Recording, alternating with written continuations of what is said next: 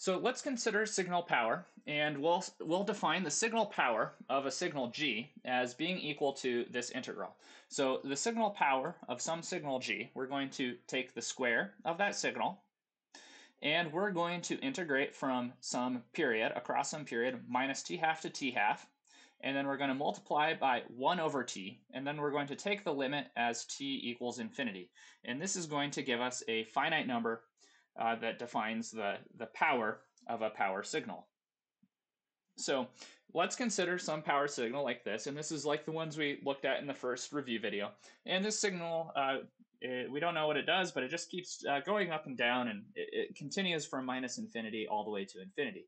So if we were to try to just uh, integrate this uh, the normal way using the energy signal method, we'd get an infinite answer.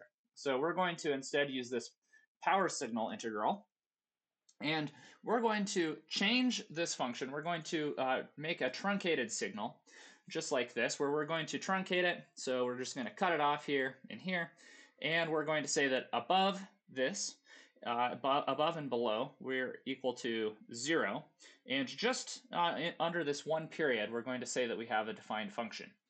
Now, if we do that, we can see that with this method, we could define the power signal in terms of the energy. So this signal, right, because we've changed it a little bit so that it has a bunch of portions for an infinite amount of time where it's equal to zero, we know that we could get a finite value from the energy signal.